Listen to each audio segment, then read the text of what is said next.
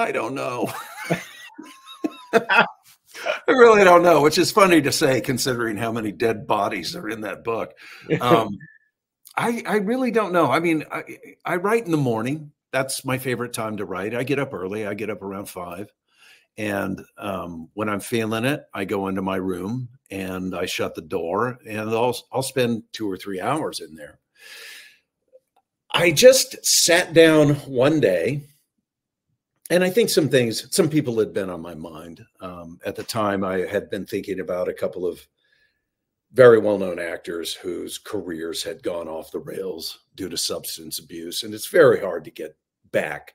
Not everybody, you know, corrects course the way mm-hmm. Robert Downey Jr. has.